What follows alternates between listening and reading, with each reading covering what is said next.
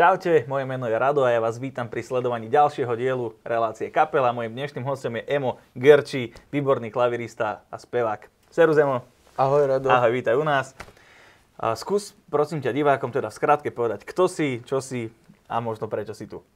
Tak, moje meno je Emo Gerči, ako si už povedal. Ja som klavirista, študoval som muziku na konzervatóriu. Zaoberáš sa čím? Akou hudbou? Uh, študoval som teda na konzervatórium klasickú hudbu, mm-hmm. ale vždy vlastne ma ťahalo k inej hudbe. Ako napríklad vyrástal som na hudbe jazzovej, mm-hmm. swingovej, mm-hmm. lebo môj tatino to robil vlastne celý život, takže mm-hmm. ma to nejako ovplyvnilo. A potom som samozrejme z tej jazzovej muziky prešiel aj na funky a na Jasne. iné rôzne fúzie. Takže viac menej sú to také tie také menšie žánre, ktoré sa nehrajú možno nejako vo všeobecnosti alebo tak masovo. A teda podľa mňa osobne sú to aj žánre, ktoré sú možno ťažšie inštrumentálne.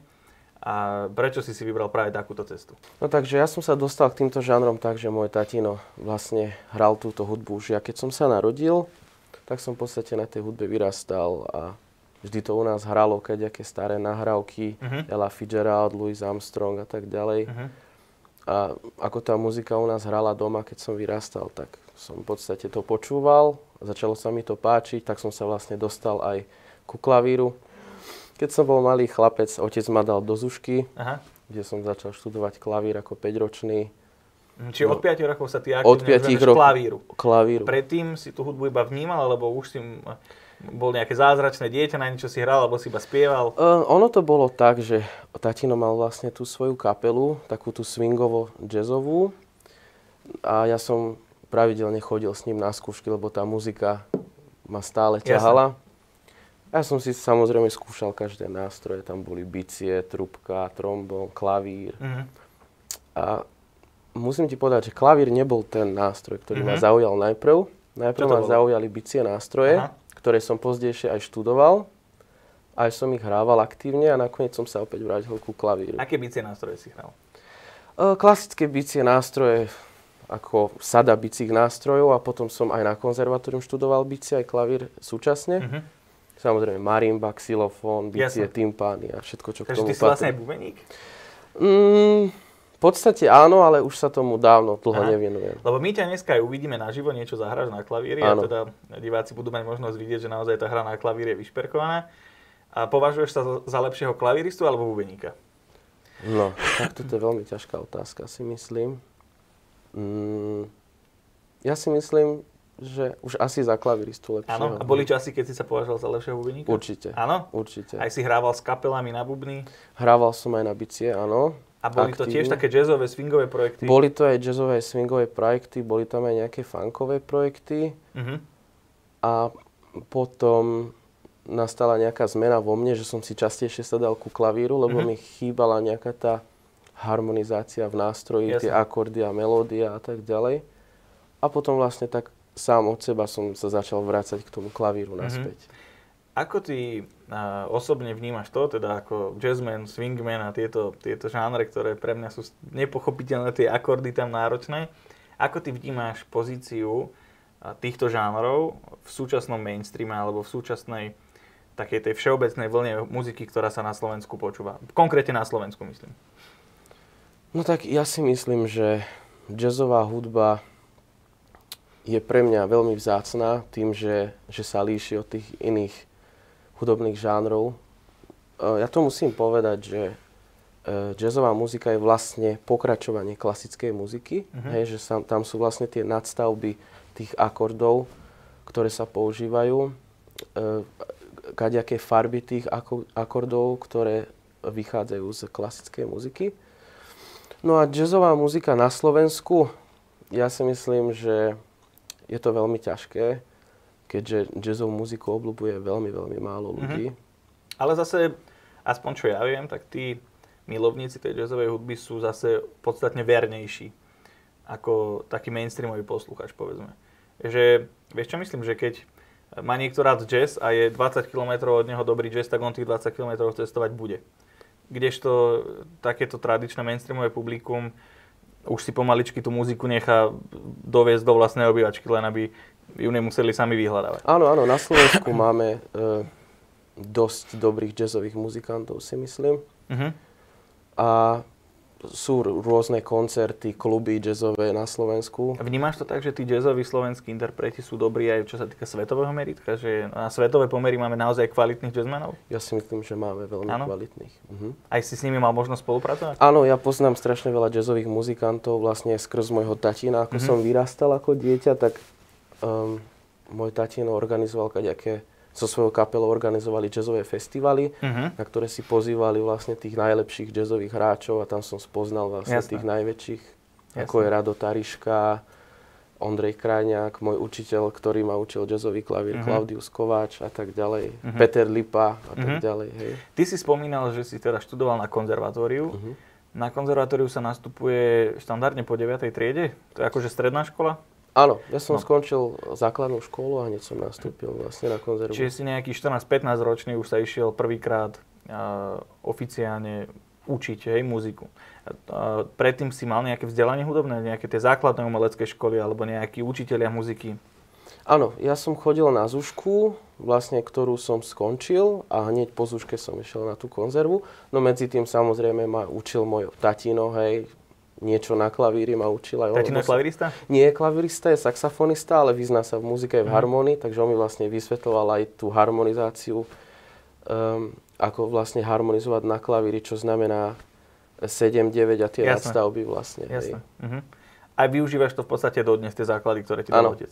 Dobre. Vieš čo, navrhujem veľmi a, rýchlým tempom, poďme rovno do toho, aby sme si pustili, a, pustili prvú pieseň. Túto a, skladbu si mi hovoril ty, že si ju v podstate ty skladal, Áno. ale neskladal si ju tak úplne pre seba. Áno, ono to bolo tak, že dvaja chalani, s, ktorým, s ktorými sa poznám, e, prišli za mnou s tým, že by chceli vlastne so mnou robiť niečo, nejaký projekt e, skrz toho, že oni repujú Mhm. a chceli by proste moju hudbu, nejakú to funky a toto spojiť to Mhm. do seba. Tak ja som samozrejme súhlasil, že dobre, poďme do toho, tak som zložil nejakú hudbu, samozrejme, že nie úplne podľa seba, keďže oni mi povedali, že takto, takto to stačí, lebo to, to je už veľa. Mhm. Hej, takže som sa musel nejako brzdiť a Jasné. počúval som na nich. A potom z toho vznikla nejaká melódia, ktorú sme zložili nejako spoločne. Oni napísali text a takto vznikla táto Dobre, skladba. poďme rovno na to. Takže vážení diváci, nasledujúca skladba Keď hudba hrá.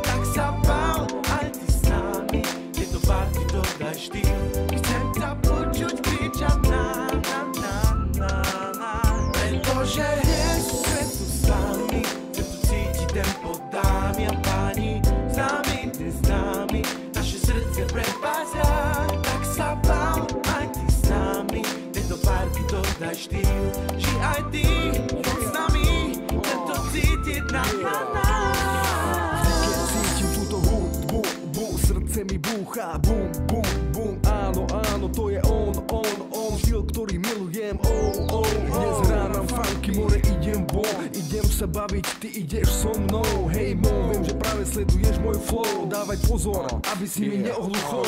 Dnes na stresy zabúdaj, prídi ku nám a hudbu si vychutnaj, čaje ľudne do rána si vykrúca a atmosféru s nami nasabaj. Au, wow, áno, mám to tam, teraz ako to cítim, tak to podám, hlavou kývem sem i tam, energiu tu mám, no tak dones mamu sestru a dojdi k nám.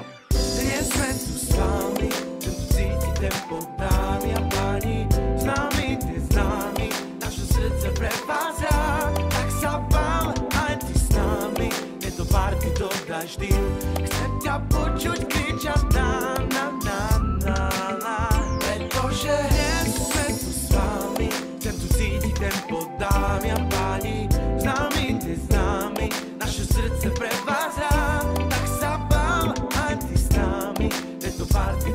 štýl, takže aj ty, poď s nami, chcem to cítiť na, na, na. Na,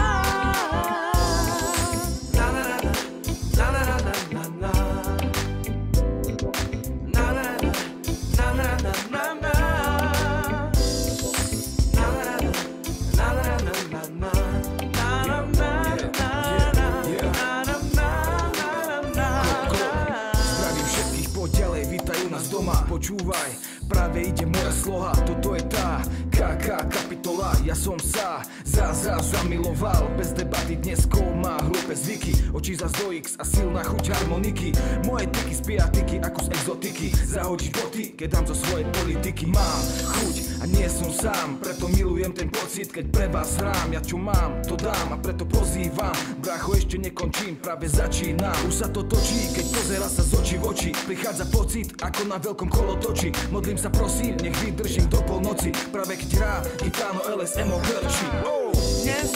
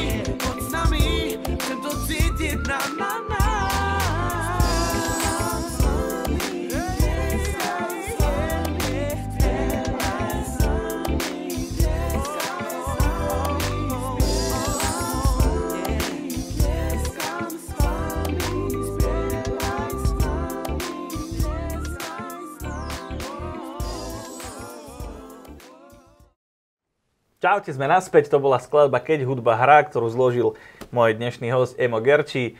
A ja sa rovno pri tejto skladbe chvíľku zdržím, lebo zaujíma ma, uh, čo ty, alebo teda ako ty vnímaš spájanie takýchto žánrov. Ty si teda jazzman, uh, funky, swing, hej, a také tie klasické uh, hudby a, ta- a tak ďalej. A zrazu si v podstate v spolupráci s nejakými repermi. No ono to vzniklo tak, že ja som hrával v jednom klube, ešte keď som býval v Lučenci, lebo odtiaľ pochádzam, Uh-huh. tak e, títo chalani vlastne chodili do toho klubu, kde sme hrávali s kapelami nejaké funky a nejaké takéto tanečnejšie veci kvázi. A im sa to zapáčilo a prišli za mnou vlastne s tým, že, že poďme spraviť nejaké funky, že nám sa to strašne ľúbi, že, že je to dobré, že niečo zložme, niečo spravme. Ja som tak rozmýšľal, že jasné, že prečo nie, že, že konečne vlastne môžem spraviť niečo, čo Mhm. chcem, čo sa mi aj páči. Ale samozrejme mi nedali až taký priestor, keďže ma brzdili v tomto. E, Takže ja som to chcel spraviť tak nejak trošku komplikovanejšie, ale Jasné. A ako to vnímaš uh, aj celkovo, že vo svete takéto tieto menšinové žánre sa dosť často miešajú uh, s takými tými mainstreamami, to znamená, už dneska je normálne v- rámci hudby úplne bežný pojem, že elektro swing, hej, a takéto. Áno. A vnímaš to ako možno nejakú dehonestáciu muziky, alebo je to nejak podľa teba nejaký prirodzený vývoj toho, kam sa uberá svetová hudba? Um, je to podľa mňa dobou. Um, jazzová hudba sama o sebe je taká, aká je, hej. Má nejaké svoje um, Kritéria, nejaké hranice, nejaké mantinely, hej? kritéria, nejaké hranice, má nejakých predchodcov, Áno. hej, že swing, jazz a tak ďalej a tak ďalej. A vlastne teraz je taká doba, kde, keď fičí vlastne tá elektronická hudba, ktorú, do ktorej zapájajú tú vlastne swingovú starú alebo tú jazzovú muziku starú, čomu sa ja vlastne teším, lebo keď si tak zapnem v nejakom, v nejakom rádiu hej, dnešnú muziku, tak tam počujem ten elektro swing alebo ten elektro jazz, alebo jak to nazvať, tak sa v podstate tomu teším, lebo vlastne tú muziku počujem v rádiu, Áno. čo je v podstate neuveriteľné v dnešnej Hej. dobe. A samozrejme mi to nevadí, lebo proste je taká doba, ľudia počúvajú všeličo a mne to nevadí. Jasné. Čiže je to len taká nejaká moderná nadstavba, hej? Áno, presne, presne tak. Dobre. E, Ty teda ako muzikant e, pôsobíš aj v kapelách, alebo teda v zoskupeniach, nie všetko sa teda úplne volá kapela v tvojom svete. Tak e, mi povedz nejaké možno najvýraznejšie tie projekty, v ktorých sa pohybuješ. Mhm, tak ja vlastne žijem už v Banskej Bystrici 4 roky a môžem sa pochváliť, že hrávam s jednou bystrickou kapelou, ktorá už má nahraté nejaké albumy, Mhm. ktorá už pôsobí nejakú dlhšiu dobu aktivnejšie. Je to kapela Mukatado, ktorí ma oslovili, myslím, že pred dvoma rokmi, či Mhm. s nimi môžem odohrať nejaký koncert a vlastne takto sme sa dali V dokopy. rámci kapely hráš na čo? Na klavír, Na už klavír. len na klavír. Mhm. Mhm. Dobre, pokračuj teda, hráš s Mukatádom. Hram s Mukatadom, to je vlastne taká tá popová kapela bansko-bystrická. Ako taký uh, človek, ktorý v podstate prišiel z tej, z tej, z tej jazzovej školy, uh, sa udomácni v kapele, ktorá sa venuje popu. Ono to vzniklo tak, že ja som bol vlastne vychovaný tak od tatína, že široko záberovo v muzike. Akože vyrastal som na tej swingovej jazzovej muzike a potom môj tatino vlastne začal hrávať pozdejšie na lodiach, Mhm. keď som bol už taký, taký ten puberťák, alebo ako to povedať. A vlastne z tých lodí som sa naučil vlastne ako tatino hrá s tou svojou kapelou tú tanečnú muziku. Mhm. Začal som vnímať aj nejaké tie 60., 70., 80. roky, Michael Jackson Mhm. a tak ďalej, hej. Takže aj toto je nejaké to obdobie môjho života, keď Mhm. som začal vnímať muziku aj inými smermi, že funky, pop a tak ďalej. Jasné. Takže ja musím povedať, že mám rád aj popovú muziku. Ale treba zase povedať aj to, že v kapele Mukatádo hráš s muzikantami, ktorí majú tiež blízko uh, aj takej tej naozajstnej hudbe, tej vážnej, tej jazzovej, funky, hej, viem, že gitarista z Mukatáda uh, to funky má veľmi rád. Áno, Uh, Peťo to má rád. Na, bas, na kontrabase, Áno, Robo Ragan hrá na hej, kontrabase. vynikajúci jazzový, Áno. jazzový kontrabasista, takže ste tam aj také zoskupenie, že viac menej muzikantské, hej, v tom takom ponímaní hudobnom. A takže aj z tohto pohľadu vnímaš to, že možno aj to udomácenie v tom pope pre teba bolo jednoduchšie, že si tam s takými ľuďmi, ktorí e, majú radi v podstate to, čo ty? Mm, Ja sa, ja sa z toho teším, že je tam so mnou ten Robko Ragan napríklad, lebo s Robkom hrávame spolu už v podstate dlho, už keď sme spolu študovali na tej konzerve, tak sme začali spolu nejako aktívne hrávať a potom sme sa, ne, e, potom sme sa prestali stretávať, lebo ja som odišiel študovať na Mhm. inú školu. A teraz ako som sa sem prisťahoval, tak sme začali s Robkom tiež spolu tak účinkovať, hlavne v tom jazz klube a tak ďalej. A Janka sa ma opýtala vlastne, To je speváčka. z speváčka z Mukatada, že koho tak zobrať vlastne na tú basu, že aby sme sa nejako doplňali Mhm. spolu. Ja som navrhol, že jasne zoberme tohto Robka, že to bude úplne najlepšie. Takže my sa snažíme s tým Robom vlastne také iné farby, takú inú tvár dávať tým im kompozíciám, ktoré si skladajú. Čiže je Robo taký tvoj súputník hudobný. Áno, áno? Robo, áno, Dobre. Uh, to bola teda kapela Mukatádo, to je teda tvoj popový projekt. áno. A čo teda ďalej? Kde ešte účinkuješ? Potom mám svoj vlastný projekt, ktorý som poskladal vlastne ja, tých mojich najobľúbenejších muzikantov, ktorých som si myslel, že budú najlepší v tom mojom projekte.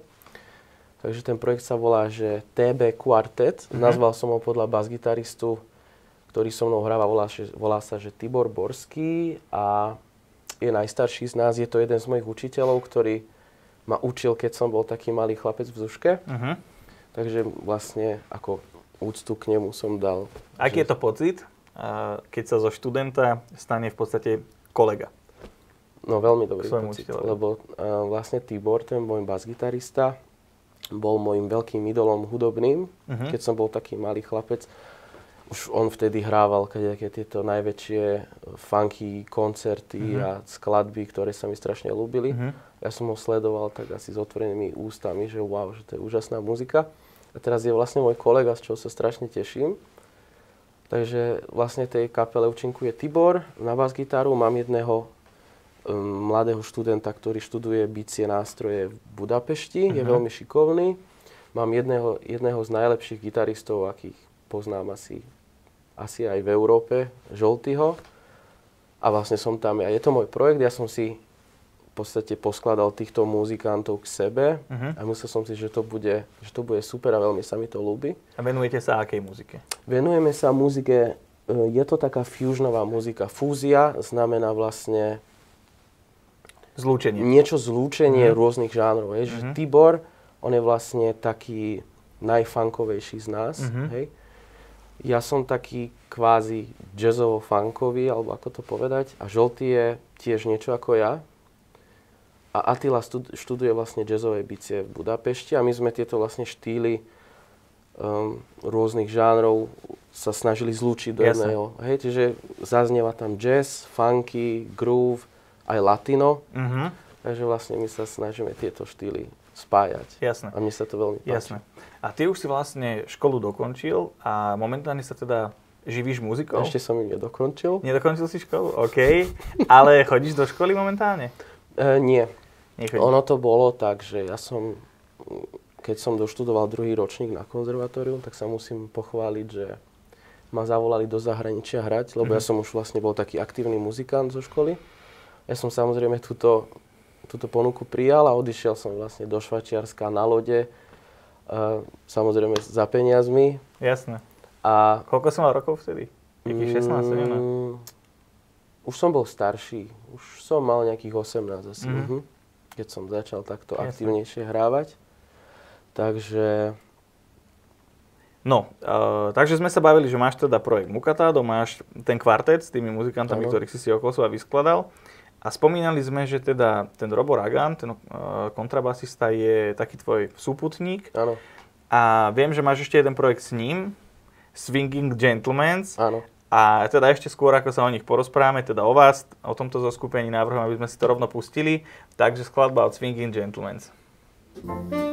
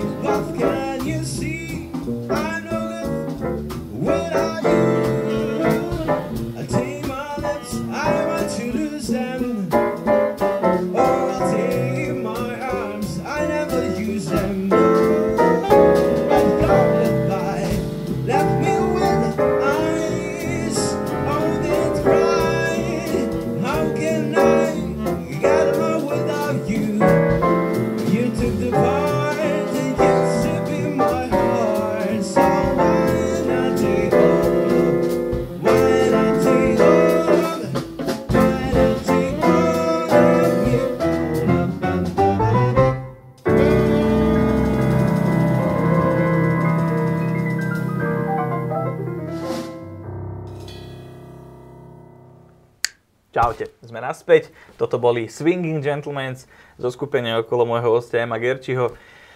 A teda bolo to naozaj zaujímavé, musím povedať. Je to hudba, ja to vždy hovorím, že pre mňa je to taká tá ťažká, náročná hudba, na ktorej e, si jeden doláme prsty. A ako dlho už fungujete v tomto zoskupení? No toto zoskupenie vzniklo tak, že my sme vlastne v takomto nejakom podobnom zoskupení hrávali v bansko jazz klube. Mhm. To Eh, boli nejaké také jamky, alebo... Boli to, áno, boli to jamky, ktoré boli každý týždeň pravidelne, na ktorých sme sa stretávali a či sme tam jamovali a Mhm. hrali. Potom z tých jamiek vznikli aj nejaké hrania, nejaké eventy, koncerty a tak ďalej. A vlastne saxofonista Martin Uherek, ktorý je jeden z najlepších saxofonistov na Slovensku, je Bystričan, sme na neho hrdí, dúfam, že ho veľa ľudí aj pozná. A Martin vlastne ma oslovil, že či by sme mohli urobiť nejaké takéto zoskupenie, že vlastne teraz, ako si spomínal, tá, ten elektro swing je taký moderný, tak my sme sa snažili vlastne ten swing uh, dodržať tradične a nejako proste ho snažiť sa ho propagovať na takýchto akciách. Mhm. Mm-hmm. Čiže sme hrávali kadejaké ochutnávky vína, kadejaké gentlemanské večery, kde boli cigary, dym, hej, všade, Jasné. všetci, všetci Ale ono to ľudia. tak asi aj patrí trošku k sebe, ten swing a tá elegancia. Áno, áno. Takže vlastne začali sa vybavovať kadejaké takéto večery, swingové večery, 30. roky, všetci boli oblečení ako kedysi, áno, bolo Mhm. to veľmi super, my sme mali takisto kadejaké obleky, motýliky a Jasné. ľudia tam mali cigary. A bolo to úplne úžasné, lebo však vlastne to je muzika, ktorú my milujeme a vlastne tí ľudia sa tak obliekli a spoločne sme sa tam vlastne zabávali. ne? Jasné. Takže to bolo... A teda ty ako muzikant e, máš teda svoje projekty, ktoré ťa bavia, ktoré máš rád, ale na druhú stranu musíš sa tou muzikou nejakým spôsobom aj živiť. Áno. Uh, ty si hral aj s takými zvučnejšími slovenskými menami, ktoré sú možno známe takej tej laickej verejnosti. Áno, hral som napríklad s takými najznámejšími, Sloven- s najznámejšími slovenskými interpretmi, ako je mladý Igor Kmeťo, Uh-huh. ktorý to funky na Slovensku fakt propaguje veľmi Ako dobre. sa dostal k takej spolupráci? Bo je to, uh, Igor Kmeťo má len jednu kapelu, je tam len jeden klavirista, hej, to znamená, je tam uh, len jedno miesto na Slovensku a bol si tam ty v podstate. Tak ako, je to, ako sa to vôbec stalo? Ono sa to stalo tak, že ja som sa s Igorom spoznal v Bratislave, kde som aktívne hrával. Stretli sme sa na nejakých akciách párkrát spolu. A potom samozrejme sme sa skamarátili a Igor ma pozval do, sto- do svojho štúdia, kde sme špekulovali nad, nejakou, nad nejakou muzikou, jamovali sme tam, zabávali sme sa, stali sme sa kamarátmi. A mne sa Igor vlastne na Slovensku ako populárny muzikant páči asi najviac, Mhm. musím povedať, lebo on tú funku, funkovú muziku, ktorú robí, robí veľmi dobre.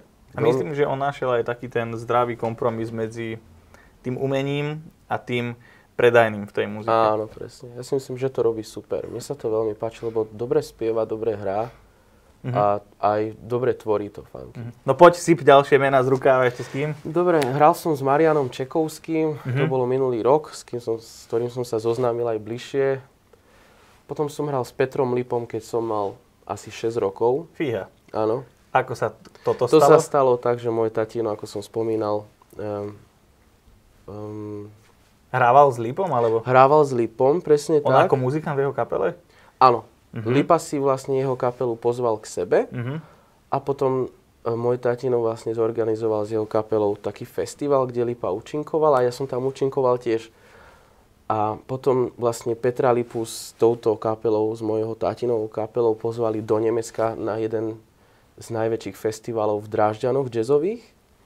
A Peter Lipa povedal, dobre, môžeme tam ísť, ale ten malý chlapec pôjde s nami. Wow. Takže ja som vlastne hral s Petrom Aj si to Lipom. pamätáš ešte, keď si mal 6 rokov? Pamätám si. Áno? Mhm. Či aj fotografie, videá? Mm, nejaké fotky sú, ale to už fakt neviem. kde. Jasné, Bolo jasné, to strašne dávno. jasné. Tak e, musí to byť jednak dobrá skúsenosť Áno. a jednak asi aj zážitok príjemný. áno, áno, bol to veľký zážitok. Jasné. Dobre, poďme teda ďalej. Ty, uh, bavili sme sa o tých lodiach. Uh, ako to vyzerá na takej lodi, alebo skús mi povedať, to chodíš na nejaké turnusy, ako dlho to trvá, a koľko tam hráš, aj si odlúčený od rodiny, ako dlho si preč, ja neviem, ako vyzerá tvoj deň, keď si na takej lodi. Mhm. Takže ja sa najprv dostanem na ten začiatok. Ja som sa dostal k lodiam tak, že vlastne môj tatino hrával na lodiach Jasné. oceánskych. A ja som bol potom oslovený jedným manažerom, či nechcem ísť na loď riečnú. Mhm. Hej, čo je úplne super, lebo som vlastne bližšie domov. Plavil som sa na Dunaji, tak som tú ponuku prijal, išiel som vlastne na tú riečnú loď a vlastne... Ktorými krajinami si išiel? E, išiel som, vlastne hlavná tá zastávka bola vždy Budapešť, vlastne čiže po Dunaji. Čiže Budapešť smerom hore na Amsterdam, to je Bratislava, Viedeň, Nemecko, Rakúsko, Nemecko a potom Holandsko. A bol som aj smerom dole až na Čiernom mori, kde sa vlastne Dunaj končí. Mhm. Čiže Rumúns- Bulharsko, Srbsko, Rumúnsko a tak ďalej. Do- Dostal si sa na tie lode, teda oslovil ťa manažer nejakej riečnej plavby, aby si tam išiel. Áno. Potom, ako, ako v podstate vyzerá tvoj pracovný deň na takej lodi? Lebo ono to môže znieť veľmi dobre, hej, že si na lodi niekde, niečo si zahraš, zarobíš si a prídeš domov, ale možno tá realita je o niečo náročnejšia, lebo predsa si tam v práci. Ja si myslím, že práca na lodi je veľmi dobrá pre muzikanta, pretože som spával asi do 11. do pol 12. Potom som vstal, samozrejme som si dal nejakú sprchu, išiel som rovno do roboty, pretože som hrával obedy každý deň. Aha. Takže vlastne tí hostia tam obedovali, ja som si tam sadol za ten klavír a začal som im tam hrať. Aj si spieval? Nie, počas obedov nie, len som hral klavír, vlastne také tie najznámejšie melódie pre tých Amar- Američanov, ako je Frank Sinatra, Elvis Presley, niečo z klasiky, niečo z jazzu. Takže také rôzne Jasné. skladby a vlastne potom som mal nejakú pauzu medzi tým, tak som sa vlastne naobedoval ja, alebo keď stála loď v nejakej Viedni, Budapešti, v Mal Holandsku. si aj čas poznávať teda svet? Áno, áno, áno. Vlastne počas týchto mojich um, timingov Jasné. off, keď som mal Jasné, vlastne jasné. voľný čas, tak som išiel vždy von. Vždy som vlastne nakupoval, alebo som si obzeral nejaké pamiatky, takže Jasné. ma to bavilo. Jasné. A potom som sa zase vrátil do roboty, keď som hral nejaký ten cocktail time, kde tam všetci vlastne tí starci popíjali nejaké koktejly.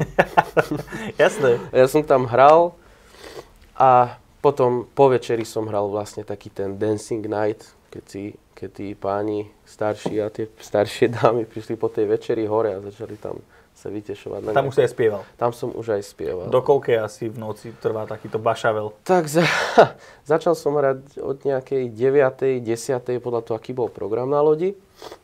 A tak regulárne do tej polnoci, jednej, Mhm. podľa toho, aká bola nálada a tak ďalej. Potom si mal voľno, hej? Potom som mal voľno. Jasné. Potom som, potom Dá som sa to označiť, hore. teda, môžeš to označiť ako drínu, alebo je to uh, skôr také spojenie príjemného s užitočným?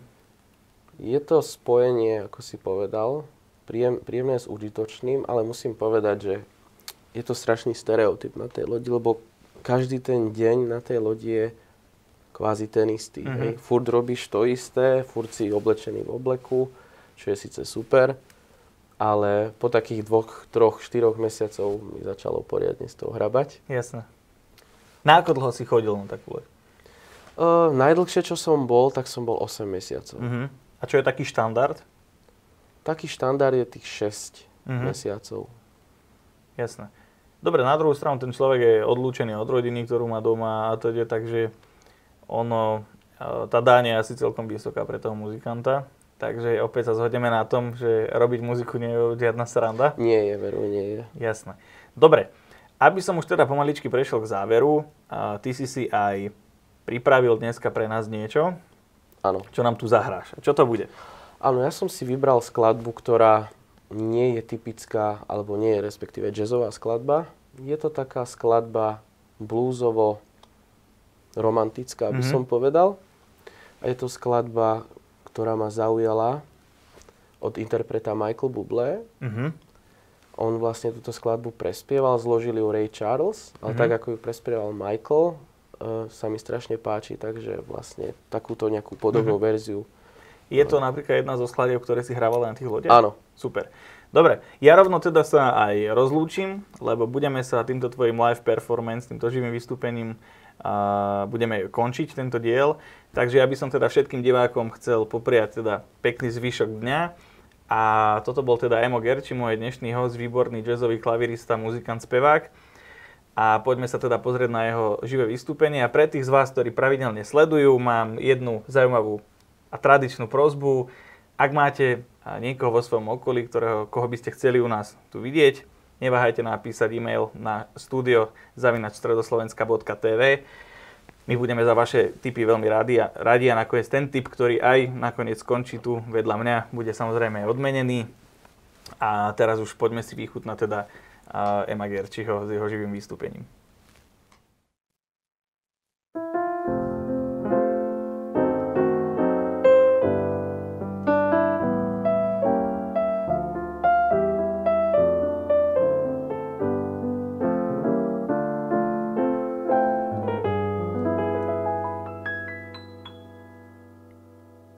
And you give your hand to me and then you say hello, and I can just hardly speak.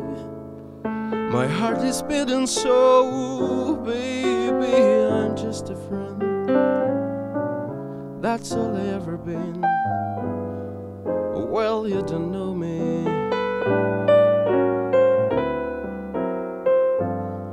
And you, you don't know the one who dream of you long your kiss your lips, long you hold your tight, baby. I am just a friend. That's all I ever been. And well, you don't know me.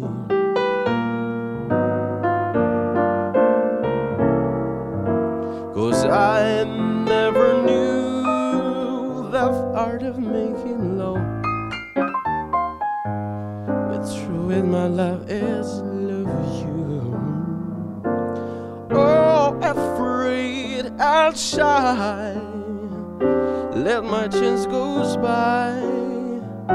The chance that you might love me too. You give your hand to me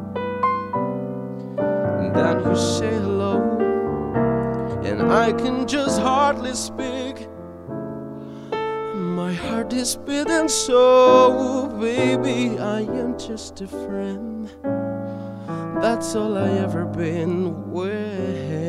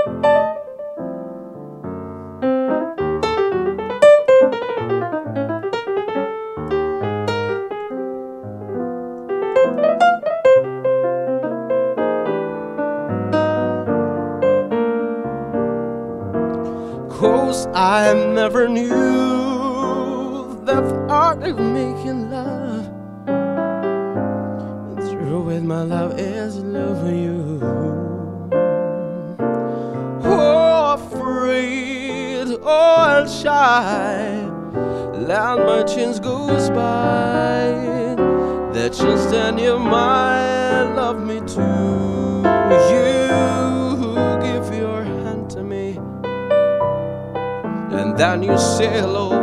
Oh, I just you want away beside the lucky guy, girl. You ever never know.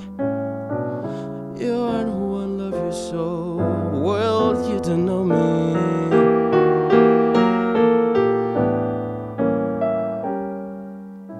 And cause you never know. One who love you so.